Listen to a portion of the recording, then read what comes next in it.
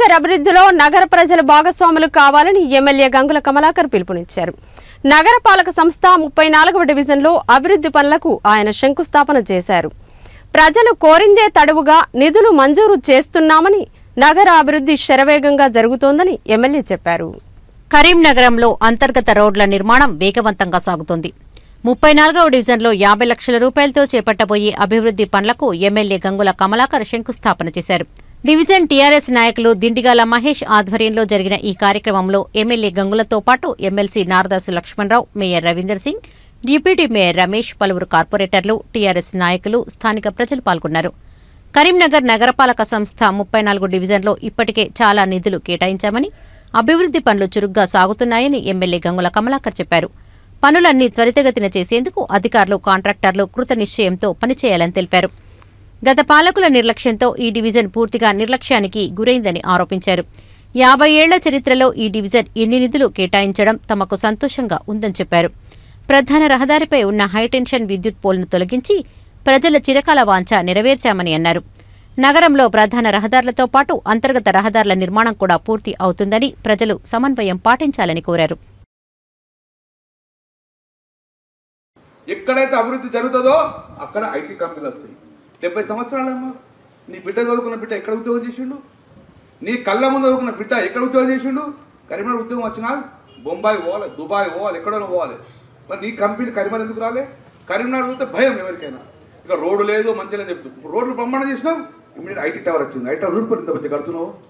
IT tower నాలుగు ఇంకొక నాలుగు నెలలు కట్టిపోతే నీ బిడ్డ ఇక్కడే ఉద్యోగం చేస్తాడు. గది తెలంగాణ అంటే. గతంలో లాగా అవినీతి సగం సిమెంటు సగం ఉసుక కాలం పోయింది. తెలంగాణ మన ప్రభుత్వం బ్రహ్మాండంగా పని చేసుకుంటాం ఇరవై ముప్పై నాక రోడ్డుకి ఇబ్బంది చూసుకుంటాం అన్ని రోడ్లే. సప్తరికాల ఒకసారి నడుపుకుంటాం మొత్తం రోడ్లు అవుతున్నాయి ఎక్కడ చూసినా సిమెంట్ రోడ్లు నడుతూనే ఉన్నాయి. కనిమాల ఏ ఊరు ఏ వాడలు ఆఖరికి ఎట్లా అయిందంటే గుర్తుదారుడు దొరికే పరిస్థితి లేదు.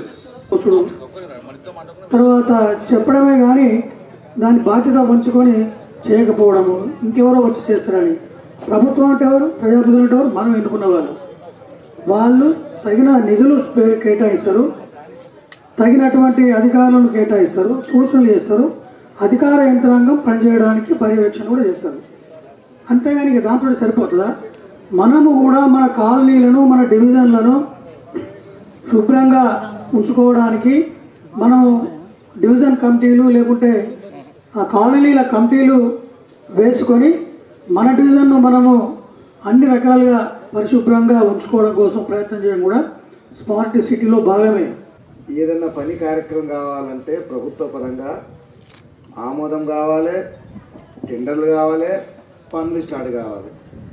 ఒక మంచి కాంట్రాక్టర్ దొరికింది అనుకోండి టెండర్ అయినా తెల్లారే పని మొదలెట్టారు ఇక కాంట్రాక్టర్ సతాయించడం దొరికింది అనుకోండి ఓ రెండు నెలలు మూడు నెలలు పనే మొదలుపెట్టారు ఇక కార్పొరేటర్లు పరిశాన్ పరిశాన్ కావాలి. ఫోన్లు చేయాలి బతికినాడాలి దండం పెట్టాలి దరఖాస్తు పట్టుకొని తిరగాలి. ఇంత కష్టమైపోయింది కాబట్టి ఎప్పటికీ మేము అంటాం మా వాడల టెండర్లు పడితే మంచి కాంట్రాక్ట్ వేసుకోవాలి అదొక పెద్ద మాకు యుద్ధం. కాబట్టి చిన్న చిన్న జాప్యం లేట్ అవుతున్నాయి తప్ప నగరంలో ఉన్న అన్ని గల్లీలలో అన్ని బస్తీలలో వందకు వంద శాతం ఈ సంవత్సరం సీసీలో రోడ్లు